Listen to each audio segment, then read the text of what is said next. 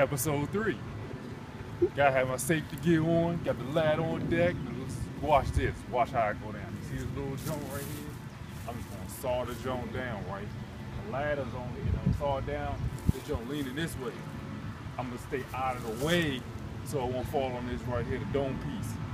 You know, Wow. give you a little sample. Wait, my bad, my bad, give you a sample, yo. Is this like hood tree trimming? Hood tree trimming. Yeah. Wait, I'm gonna move. these little ones out the way first. Okay. And then I'm gonna do that. Alright. Let's go to episode four. Let's go to episode four.